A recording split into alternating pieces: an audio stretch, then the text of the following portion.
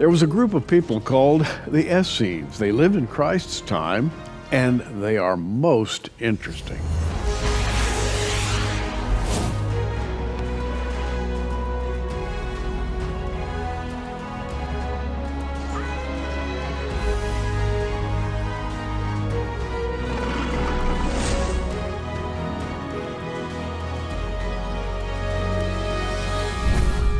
And here to talk about the Essenes, and by the way, they, they had a calendar, and we're going to talk uh, with the author of this book, Ken Johnson. And you've seen Ken before, he's been here many times, always writes on fascinating subjects that nobody else touches. Ken, welcome to Prophecy Watchers. Thanks for having me back.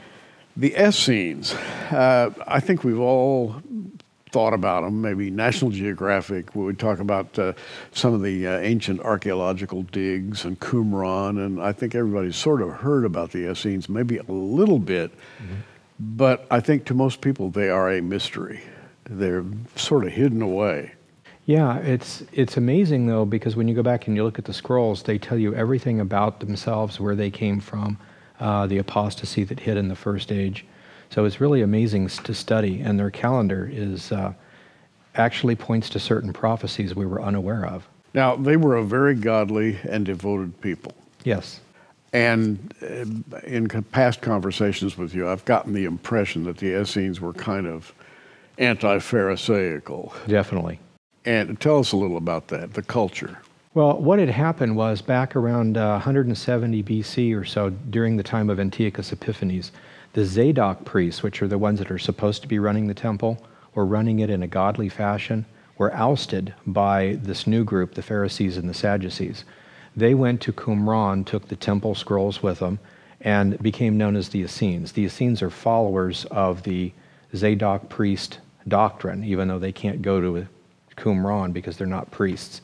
So people tend to get that confused, but it's basically the Zadok priests. Now, the fascinating thing, and we usually forget about it, but if you read the New Testament, uh, Matthew, Mark, Luke, John in particular, and you, you read about the run-ins that Jesus and the disciples had with the with the priesthood, mm-hmm. then in power, it all fits together. It makes perfect sense because the priesthood did not at all favor uh, a godly approach to life. They were sort of political, right? Right. The Sadducees were political, just do what the government says. Mm-hmm. The Pharisees uh, believed in life everlasting and wanted to please God, but they deliberately changed things. And the Zadok priests were saying you can't change things. The Zadok priests taught that there would be one Messiah with two comings. The Messiah would come and die for our sins. They even gave the date at 32 AD. And that all these prophecies would be fulfilled. But the Pharisees said, no, Messiah is not God incarnate. There is no virgin birth. He didn't come in 32 AD. So they changed everything. And the, the Zadok priest said the Pharisees were apostate. They called them the sons of darkness. Ooh, ooh. Now, how did they know? I mean, what, what would give them their clue when they said uh, he would come in 32 AD? Uh, there's a specific scroll, the Melchizedek document, that gives all the de- details for that. But basically, they had the writings of the patriarchs from way back when. And if you believe the patriarchs, that's Adam through Aaron, they basically tell you this is how you interpret prophecy. But then the Pharisees come along and said, no, that stuff is fake. We have the oral Torah, which is the secret stuff that Moses told us. And the Essenes said, no, that stuff is fake. So you've got two different doctrines. But as a Christian, I'm going to follow what the New Testament tells me. And the New Testament uh, agrees completely with what the Zadok priest said and completely goes against what the Pharisees said. And that brings us to the book, the Ancient Dead Sea Scroll Calendar.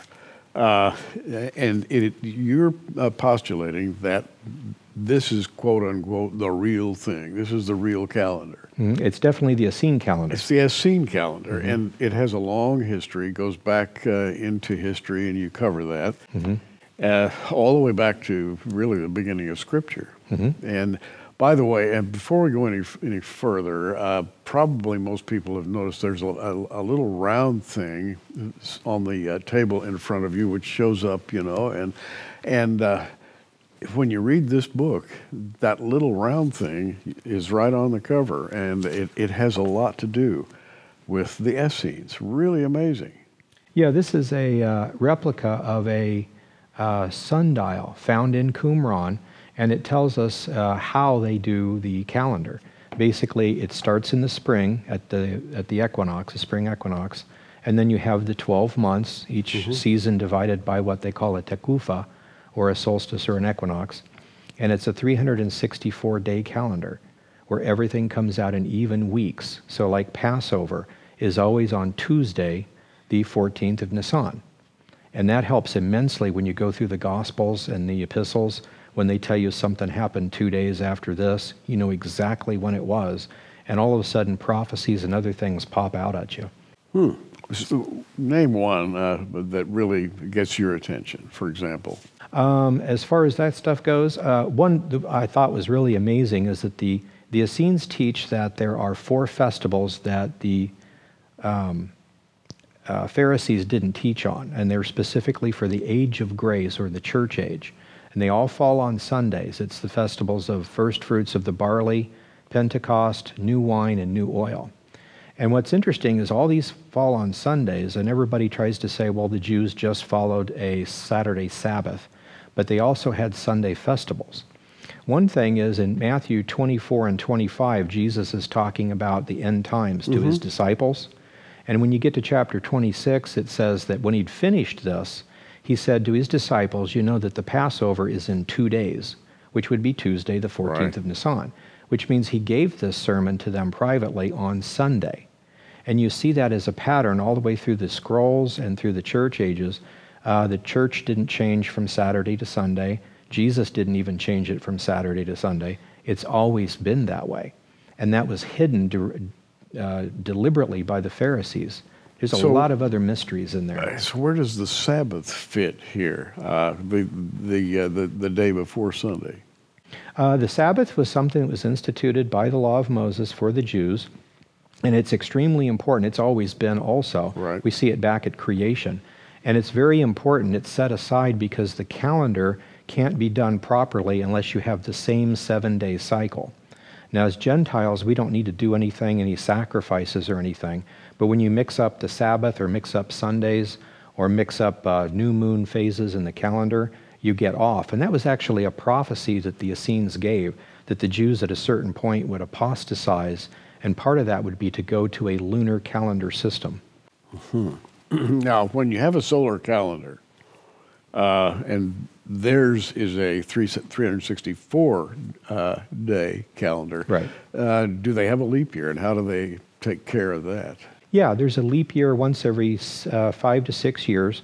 The way that it works on the Gregorian calendar that we use, there's one day added every four years, mm-hmm. and that keeps us even. Right. On a modern Jewish calendar, they use an entire month every three years. So their calendar gets way off before they fix right. it. The Essene calendar has a leap week. So it gets up to three days off. You add a week to it, and it's three days ahead, and then it comes back. So the first of the year it always is within three days of the spring equinox, which on the Gregorian calendar is March 20th. So hmm. it's really interesting. It's very fascinating. It's very, very accurate. And it keeps the seven day cycle in, in tune, so just like it should be. Now, what I like about this book is and by the way, let's not get numbers crazy here. I, you may be just like I am. Uh, too many numbers, and I just say, oh, I'm losing interest. But it's not about numbers, it's about worship and mm-hmm. a history of worship. And that's what really lights me up about this book because you, you go back into history and, and you bring out uh, aspects of worship that I had never even thought about. Uh, and and that's the beauty of studying the Essenes to me. Yeah, the whole idea that their, their time, at the end of their age, the Pharisees had apostatized, and they called them the sons of darkness and themselves mm-hmm. the sons of light because of the use of the calendar. Not that that in itself was important, unless, of course, you are a priest. You know, if you do the Yom Kippur ritual wrong, you die. Well, if you did it absolutely perfectly, but on the wrong day, it's still wrong, and you die. So the calendar is very important to them. Life and death. Yeah, life and death. Wow. But the fact that it was prophesied and it was part of something that points to the festivals. We all know that Paul talks about Jesus' death as the Passover lamb. We all know the fall festivals point to the second coming. The summer festivals point to the age of grace, things that they were trying to deliberately hide from us. And it's important because it all focuses on prophecy. Hmm. And the fascinating thing, again, to me, is to know that there was a godly remnant in the days of Jesus. Because you read the Bible, you find out, find out about apostasy and hyper legalism and politics with the Pharisees and Sadducees and, and, and cozying up with the Roman government and uh, it- it- all sorts of problems. Paul you know, it got in trouble, as we all remember. You know, he, he came back from his missionary journey and and uh, essentially he was arrested on the steps there of the of the uh, uh, of the Roman uh, emplacement at the uh, at the uh, uh, one end of the Temple Mount, and uh, when when Paul was arrested, it's almost kind of funny. He he spoke in Latin to the guard, and said, "I just happen to be a Roman citizen, so take your hands off me." but Paul was talking in terms of the reality of the Messiah. And these people were not at all willing to hear that. And when I read your book, it gives me a little insight into why. Mm-hmm. Because there was a real division in the way they looked at life. Yeah, when Paul in, in Hebrews talks, he's trying to explain Melchizedek, he doesn't go any further because he says you're dull of hearing. It doesn't Right. mean that they were stupid. It's because if he would have started to explain it, they would have said, ah, that's sad, that's uh, Essene doctrine. We all know about it. It's heresy. We don't care. They'd already set their minds against the concept of Messiah.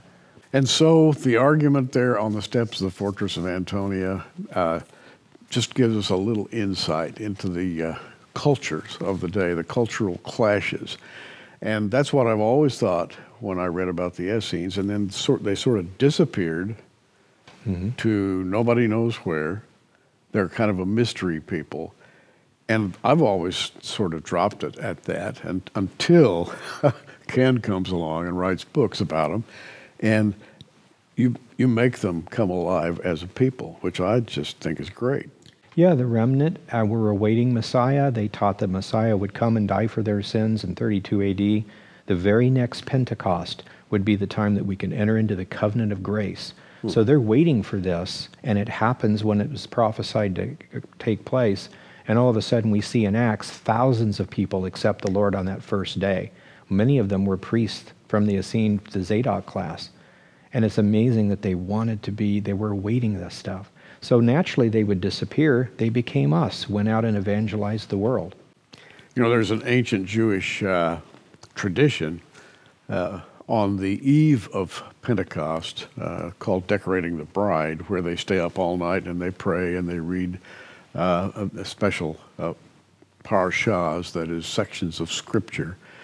And there's a tradition among the Jews up to this day that uh, at some point uh, in the middle of the night, the heavens will open for a split second, and if you happen to be praying uh, and happen to be uh, your heart is just right, what you are saying at that moment will be received by God. In other words, a tiny little opening of the heavens on on the night of Pentecost. Of course, you stay up all night and welcome the sunrise the next morning, and the, the Jews call that decorating the bride. And it's fascinating. We have that in Acts chapter two. We have the disciples staying up all night and till sunrise the next day, and they go out and glorify God in the streets and. Uh, all these things fit together in a beautiful way. And I'm sure there were some Essenes there. Oh, yeah. As a matter of fact, the, the Essene scrolls talk about that the fact that when Messiah comes to start the age of grace, we would have a different covenant, a different priesthood, and there would be the bride of the Messiah. Let's talk about the calendar. Now, I, I don't have this book open to the calendar, and if I did, I, I certainly wouldn't try to translate it for you. But you've got calendars in this book uh, in two or three places, and uh, tell us about uh, the meaning of the calendar from an Essene point of view. Well, the Essenes taught that there was the seven days of creation. The sun, moon, and stars were created on the fourth day, so that's Wednesday, the fourth day of their week. And that's when the calendar starts. It's the Wednesday closest to the spring equinox. Hmm. And so at that point it starts, and 14 days later, later is Passover, which is always on a Tuesday. And then it goes all the way down to the end of the year. The, the basic calendar has 12 months of 30 days apiece, so that's a 360 day year. But then the solstices and the equinoxes are added, they're outside the months. So there's four extra days. For the two solstices, two equinoxes, that's a 364 day calendar, which is how all the weeks are set evenly. Uh-huh. And then you can actually go back uh, through multiple ways and figure out the year. So the calendar system is actually pretty specific because we this is 2020 AD and it's 57 something on the Jewish calendar. Well, it's 5945 on the Essene calendar, much closer to where we, the kingdom age would be than the Jewish calendar has it. Now, to you, as I gather, and I'm going to ask you the question, do you think that the Essene calendar is quote unquote more accurate? Uh, yeah, it definitely seems to be because when you go through the scriptures, even like back in the Old Testament where Moses came down from the mountain and then God said two days later, do this, or five days later, do that, you figure out what that is. And on the Essene calendar, it always comes up to a festival or something that they're doing. The modern Jewish calendar, there isn't anything. As a matter of fact, in Daniel, when it says, Blessed are you if you make it to the 1335 in Daniel chapter 12, we all know that that's from a festival to a festival, but it flat does not fit on the modern Jewish calendar. Hmm. On the Essene calendar, it does, and the mystery's finally solved. Wow, that's really interesting. And, and again, uh, Ken sort of approaches uh, historical study from an entirely different uh, uh, angle th- than I think most other scholars do. Have you gotten in trouble with, with other people? That, do they, they say you have no right to, to write this stuff, that we don't believe that at all? Have you uh, encountered any resistance? You could say that a little bit. well, but it's kind of a new way of looking at things, mm-hmm. but not new at all if you really go back and, and look at the, uh, the records. Yeah, one of the things that I do get in trouble with is because there's a lot of people that love the Lord that want to follow the Jewish festivals, and they're following the modern Jewish calendar, which is lunar. If the Dead Sea Scrolls are correct, that is a corruption. Actually, it's a pagan system that incorporated with the with the Pharisees rather, and so we should be following the original solar calendar that God gave us. Otherwise, as the prophecy said, you'll end up having the festivals on the wrong days, and everything will get garbled. So again, we're not necessarily saying we can prove this is the original calendar, but it's the Essene calendar, and that's what the Essenes taught. Hmm. And so uh, they, they talked about a solar calendar. Uh, let's go back again to the sundial, because you spend quite a bit of time talking about the sundial. Mm-hmm. Uh, talk about how we can gain uh, a little knowledge, biblical knowledge, from looking at that sundial? How, how does it work? Because well, I'm sure people are looking at it and they're saying, I don't understand that at all. It doesn't have numbers on it. Uh, you know, it's mm-hmm. uh, how would you tell what time it is or what, what do you use it for? Well, basically, the way this is is you, you set it up, and this, this particular model was found in Qumran at the entrance, so we know it was functioning at the time it was uh, 2,000 years ago. But there are uh, there are lines or circles on this uh-huh. that mark the months. So as the um, the uh, months go by, the the shadow from the center pole gets longer and longer until the summer solstice. Then it gets shorter, and there's markings on here to mark which ones are the equinoxes. Now, I, I see an outer ring with marks on it, and then an inner ring with marks on it. Mm-hmm. Uh, what, are, what are those? What is the difference? Uh, the the outer ring has 52 marks, and as you can guess, 52 is the number of uh, weeks in a year. Weeks in a year. This the center one or the smaller one has 30 marks, and as you can guess, that would be the 30 days per month. And so there's 30 days per month, and then there's a takufa, and then there's after, after three of them. And so this actually allows you to figure out uh, what week you are in on the calendar. Yeah, it's 52 weeks. 52 weeks is 52 weeks, folks. I mean, mm-hmm. uh, that's that's amazing. But how do you know for sure that, um, or what they were doing, or how they were using that thing? Because, like I say, it doesn't have any numbers on it and so forth. You had it was a mystery for a while. The main mystery was exactly how you do the uh, the uh, leap year. Uh, but the rest of the stuff was actually given to us in uh, uh, Josephus. Josephus uh, explains how they used the menorah in the temple to figure out the leap week and how this works. So thank you, Josephus. But then there's also documents in the Dead Sea Scrolls, Book of Enoch, Jubilees, and a few others that describe the uh, six uh, signs that you use to figure out where you're at on the calendar. And so between all of those scrolls together, it comes out really well. And there were uh, probably close to 200 fragments, and the University of Tel Aviv finally managed to put all those together last year.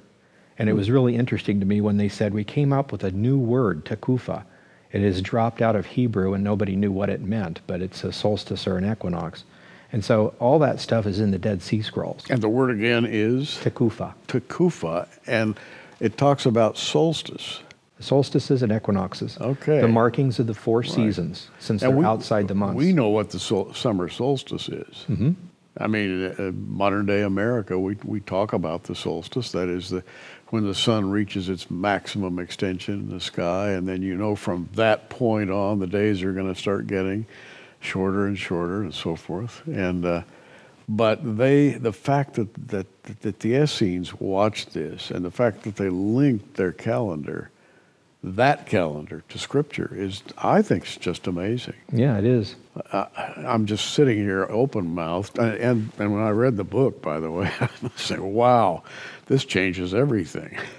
it really does if you think about it. And then if this is correct, it means some of the Hebrew roots guys are a little off on things. But more importantly, there are two festivals that teach prophecy about the age of grace that we need to know about. So it's really interesting to know that there were things that they knew about Messiah that we have forgotten, and things about the first and second comings that we have forgotten. And it all focuses on prophecy. The scrolls say it's a it's a serious sin to ignore Bible prophecy. I always thought that was amazing. And they were actually looking for the coming uh, of the Messiah. Well, if they were properly keeping the calendar, uh, this, this group of Jews actually might have been expecting the Lord. And you can get the 32 AD figure from Daniel chapter 9. I don't know if they got it from there or not because they were known to be prophets, led by prophets. And Josephus and many of the other people say that the Essenes were always 100% accurate with their prophecy. They were in tune with the Holy Spirit. The Pharisees, on the other hand, said, Oh, that stuff is past. That doesn't happen anymore. Ah. Interesting. Well, eh, now when I think of 32 AD, and, and again, I'm no calendricist. I'm, I'm not sure I can. I'm even allowed to say that word, but I. I do remember 32 as the date of the crucifixion. Now, some people say 31, 33, I don't know, but 32 AD would, would be his crucifixion. Uh, eh, would they have known that calendrically, or would they have calculated that? Yeah, because they have their, their calendar system all mapped out. Uh, their calendar system goes in, a, in the concept of 7,000 years with a millennium, millennium at the end. So there's 6,000 years of human history. The 6,000 years are broken up into three ages of 2,000 years apiece. Each 2,000 years is broken up into five unas. Each una is uh, 10 jubilee cycles and that's fif- 500 years. So in the prophecy, in the Melchizedek document, it says the end of the age is the 10th uh, jubilee of their cycle. And they said that the Messiah would come and, and be crucified, or well, die for our sins, that that event to reconcile us to God would be one Shemitah after the end of the ninth jubilee at the end of the Una of their age. So if you calculate that back, the end of the age was 75 minus a jubilee, which gets you to 25 AD, plus a Shemitah, which is a seven year period. 25 plus 7 is 32. So they were expecting, it's on our calendar, 32 AD. Their calendar, one Shemitah after the ninth Jubilee. Now that's fascinating. I don't expect you to remember all those numbers. And you don't have to. All you have to do is get the book, uh, the Ancient Dead Sea Scroll Calendar for your gift of $20, shipping included anywhere in the U.S. By the way, uh, if you go to uh, uh, Prophecy Watchers uh, website, you're going to be able to see uh, Ken's name and a whole list of, of the books that he has written. And you'll profit by this one, I guarantee you, um, because you're going to see a panorama. And that's the way it appeared to me, kind of like a, a whole new uh, cross section of how, how to perceive the Bible. And, and then uh, you, if you're like me, you're going to puzzle over this little sundial for a while until you figure out what it's trying to say. But it's, believe me, it's worth finding out. Ken goes places uh, in scripture and in history that other men just do not go. And I want you to know that it's profitable to, to see what he's done. By the way, as we uh, often do, we put things together in packages. Uh, if you'd like this book plus a, a package of related uh, items, we have the Best of Ken Johnson package, which includes, by the way, uh, this DVD, End Times Prophecies, Book of Enoch, uh, in which I interview uh, Ken uh, about those end times prophecy, plus these other books Ancient Church Fathers, Ancient Prophecies Revealed, another one called Ancient Origins of Modern Holidays, and finally, The End Times of by the ancient church fathers, I should say. What can I tell you? For a gift of $75, shipping included anywhere in the United States, uh, the best of Ken Johnson package. If you just want the book, uh, you can have that for $20, shipping anywhere in the United States included. And the thing I love about Ken Johnson, and if you haven't been exposed to his way of thinking before, he's, uh, I would call you methodical. Very methodical. Uh, whereas a lot of us, you know, we go here, we go there. We, hey, this is interesting. I'm going to follow that one for a while. Uh, but you sort of sit there and just find out how things work, which, which I, I, I like because if you didn't do it, nobody else would. Yeah, when I first started looking at the calendar, I didn't think it would be that interesting. But since the Essenes had all those prophecies and they made it extremely important that we yeah. understand that, it must be important. So yeah. I kept working on it until we figured it out. Again, what would be uh, the single most important thing to be gleaned from this book, the ancient Dead Sea Scroll calendar? Um, the fact that there were Essenes back when that followed the Messiah, that have basically Christian doctrine. And our Jewish uh, friends out there really need to stop and think if they want to follow the rabbinical model or look at what the Dead Sea Scrolls are saying. Because it's not Christian at all. We didn't write them. So they wow. need to think about that. And for Christians, I would say the whole fact that there are two more festivals that teach prophecy that we need to know about, that's pretty important. It is important indeed. Well, I hope you've enjoyed the conversation with Ken today. I have, and uh, there's a lot to be learned, a great deal to be learned, uh, looking in new places. And Ken, uh, where, what are you doing now, by the way? Uh, what's the next thing you're looking at? Well, the ritual that the uh, Essenes do on uh, uh, Pentecost uh, is extremely important for this and, and understanding the prophecies and the festivals. So I'm working on a translation of that ritual and seeing where that takes us. Very good. Ken Johnson. Just uh, keep watching, folks. We are. Thanks for joining us on Prophecy Watchers. You can find us on the web at prophecywatchers.com where you can sign up for our free email newsletter or follow us at facebook.com slash prophecywatchers. In the meantime, keep watching everybody and we'll see you soon.